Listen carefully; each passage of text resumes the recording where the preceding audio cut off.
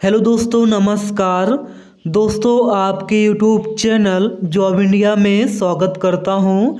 प्यारे दोस्तों, अभी आपने हमारे यूट्यूब चैनल जॉब इंडिया को सब्सक्राइब नहीं किया है, जल्दी से चैनल को सब्सक्राइब कर दो।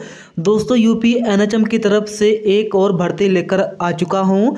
2023 की ये दोस्तों, दूसरी भर्ती आ चुकी है। यहाँ पे देख सकते हो, कार्यालय मुख्य चिकित्सा अधिकारी चित्रकूट से भर्ती निकाली गई है।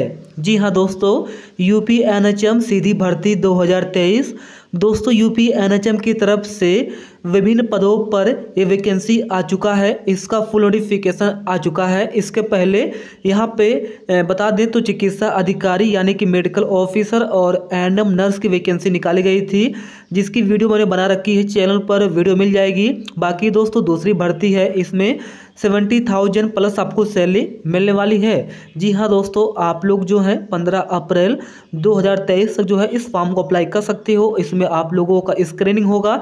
फिर आप लोगों का इंटरव्यू होगा और इंटरव्यू डेट दोस्तों 25 अप्रैल रखी गई है।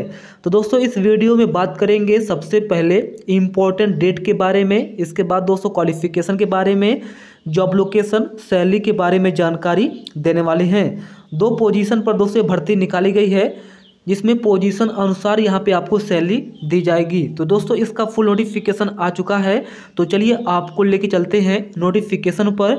दोस्तों, इस वीडियो में ए टू जेड सारी इन्फॉर्मेशन इस नोटिफिकेशन के बारे में देने वाले हैं। साथ ही बताएँगे कैसे फॉर्म को भरना है, कहाँ पर फॉर्म भर के भेजना है। इन सभी की जानकारी भी देने वाले हैं। तो वीडियो को आप लोग स्किप मत करिएगा। चलिए आपको लेके चलते हैं नोटिफिकेशन पर। यहाँ पर देखिए नोटिफिकेशन ओपन हो चुका है। अमर उजाला न्यूज़पेपर में दोस्तों ये नोटिफिकेशन पब्लिश किया गया है। यहाँ पे देखिए सबसे पहले कार्यालय मुख्य चिकित्सा अधिकारी चित्रकूट, दिनांक 22 मार्च 2023 पात्रांक संख्या है वन सेवन सेवन थ्री और बताया गया कि आयुष्मान भारत प्रधानमंत्री जन आरोग्य योजना के अंतर्गत संविदा के रिक्त पदों पर निम्नलिखित अनुसार संविदा कर्मियों की आवश्यकता है।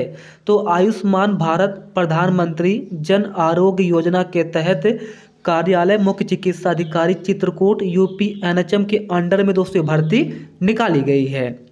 यहाँ पर देखिए आपका नंबर वन, पोस्ट के बारे में इंफॉर्मेशन है सैलरी के बारे में इंफॉर्मेशन है, एंड क्वालिफिकेशंस के बारे में इंफॉर्मेशन दी गई है, और कितनी वैकेंसी है इसकी जानकारी दी गई है।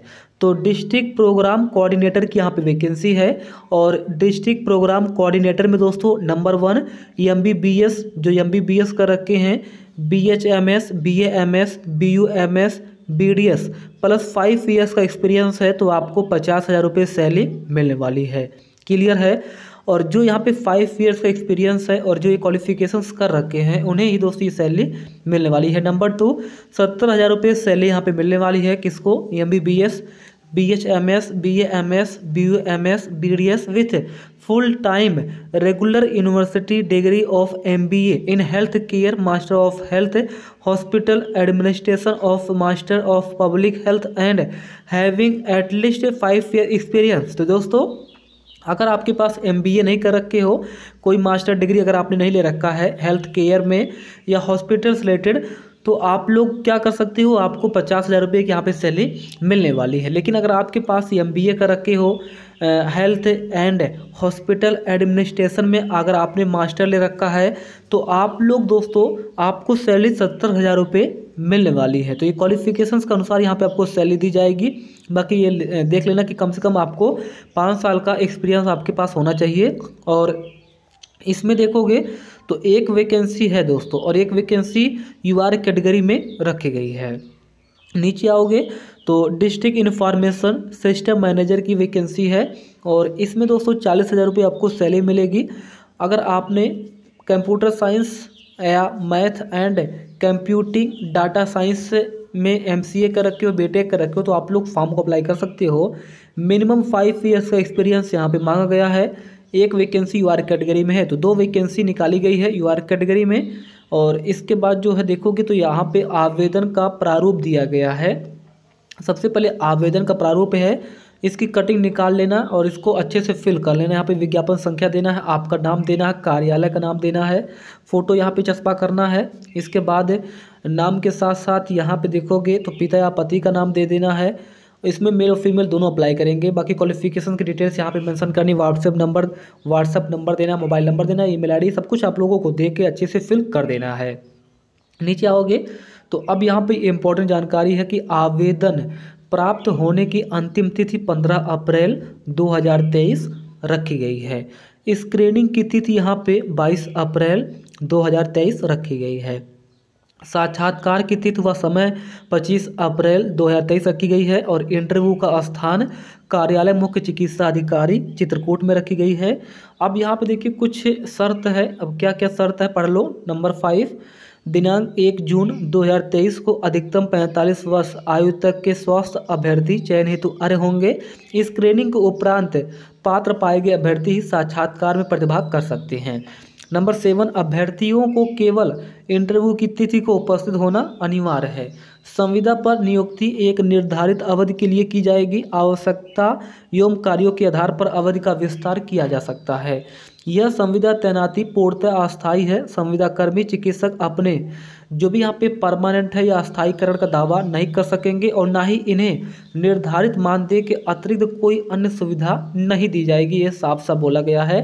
लास्ट नंबर टेन देखिए, आवेदन पत्र, मुख्य चिकित्सा अधिकारी कार्यालय में स्पीड पोस्ट एवं पंजीकृत डाक के माध्यम से ही स्वीकार किया जाएगा तथा अंतिम तिथि के पश्चात प्राप्त कोई भी आवेदन पत्र न तो विचारणीय होगा और ना ही उस हेतु कोई दावा प्रस्तुत किया जाएगा।